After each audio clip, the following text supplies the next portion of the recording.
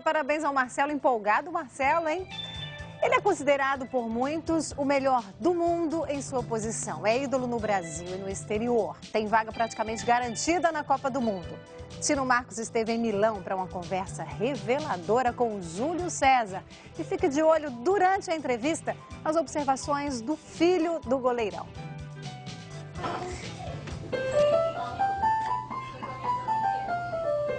Você conhece essas mãos.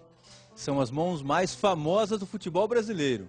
Você está acostumado a vê-las sempre defendendo o gol do Brasil, não atacando aqui no teclado do piano. São as mãos do Júlio César, que não queria deixar a gente gravar de jeito nenhum aqui ele no piano, aqui na casa dele. Por que, Júlio? Porque eu não sei tocar ainda, só isso. Daqui a uns, vamos ver, uns sete anos pode ser, porque eu sei que é um instrumento difícil. Você está aprendendo a escala aí, é? É escala, é o início mesmo de bebezinho. Beabá. É o beabá. Deixa eu ver então como é que tá. Você, é, vamos... É porque tem que ir nos dedos. Aí a esquerda, que é um pouco mais difícil. O professor tá lá, ó. Gente boa demais. Beleza. Então, vamos falar de futebol que é melhor, né? Vamos lá falar de futebol? Bem melhor. Você ainda tá com uma marquinha do, do acidente? Tô, tô. Pequena já, né? Vocês podiam até fazer esse outro dia, né? Tô cheio de olheira aqui. Foi um susto que eu tive, né? Acho que aos 30 anos de idade ainda tive que aprender mais um, mais um, mais um capítulo na minha vida aí. Mas enfim. Foi no túnel? Foi no túnel. Foi... Quis dar uma, uma acelerada para escutar o motor do carro.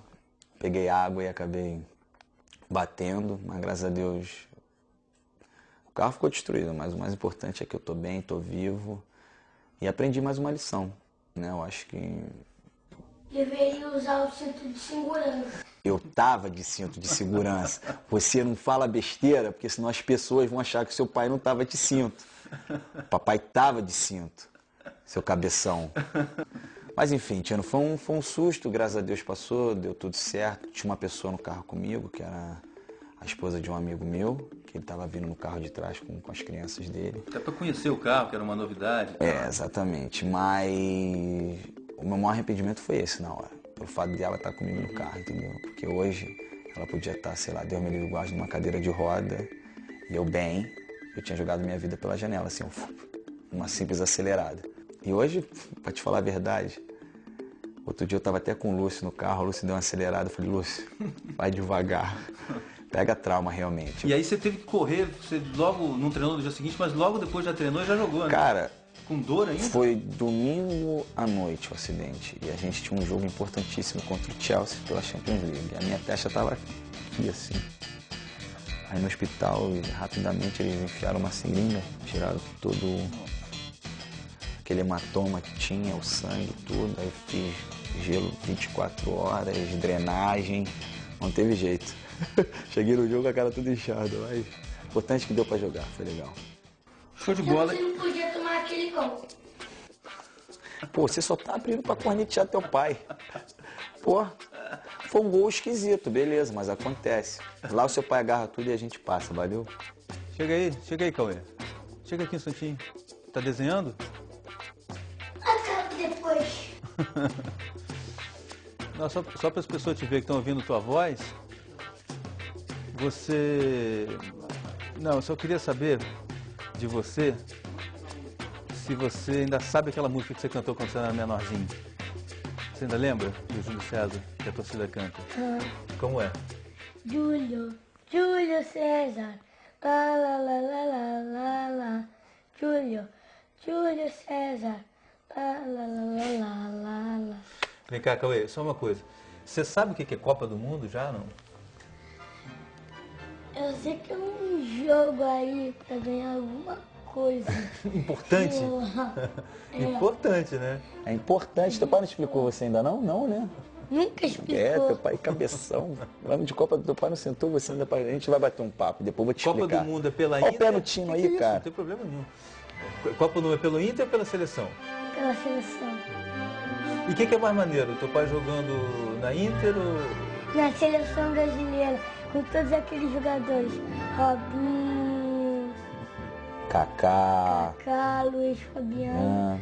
Ah, Esquece do Maicon não, senão ele vai O te bater. O Lúcio também. Lúcio também, que é zagueiro. É. E Júlio, é, o goleiro é um bicho diferente ali no campo, né? Se veste Bicho diferente. não, né, tio? Bicho não, Não. um Bom, elemento diferente. Exatamente. Um jogador Um diferente. jogador diferente.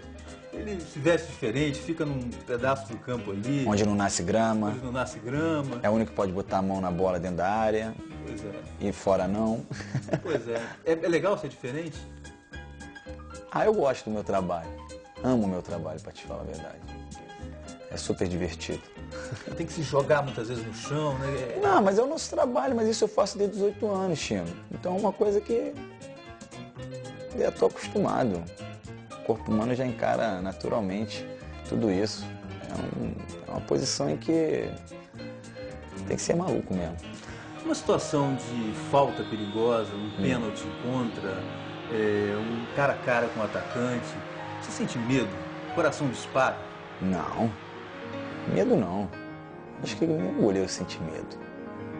Acho que é um momento em que a gente está bastante concentrado e isso está bem distante do nosso psicológico, digamos assim. Eu acho que quando o atacante entra cara a cara, você tem ali milésimos, tem, como eu posso dizer, para você optar por uma situação em que, para evitar o gol. Você saberia dizer qual foi o atacante, qual é o atacante que mais te dá trabalho, que mais te dá medo, que mais te assusta? Que mais me dá ou que me deu? Ou tanto faz? Baixinho, né? É? Na época que eu jogava no Flamengo, baixinho no Vasco, no Fluminense, me enchia o saco. E vem cá, é verdade que uma vez, num dois toques no Flamengo, você jogando no time do Romário, era ele Quem te jogava, falou isso, Ele tio? disputava, Quem te falou isso, ele disputava. É verdade. Até já sei qual é a pergunta. Ele mandou eu sair do treino. Foi. É verdade. Ele não vai lembrar disso não, sacana. Como é que ele falou com você? Vai. não, porque era o seguinte, o Romário, ele apostava na época né, no rachão. Ele apostava com todos os outros jogadores. E calhou de eu cair no gol dele. Tinha 16, 17 anos, não lembro. Eu tinha tomado uns gols lá meio esquisito. Aí ele ficou pé da vida e foi lá no gol e falou assim, sai. Aí me tirou do treino.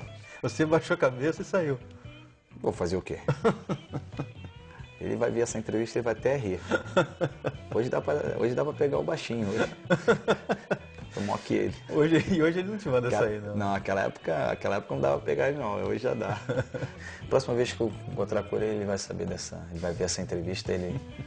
Aí nego vai, vai dar uma encarnada. Júlio César! Vem o lançamento, toque de cabeça. Júlio César faz quase um milagre. Que espetáculo de defesa.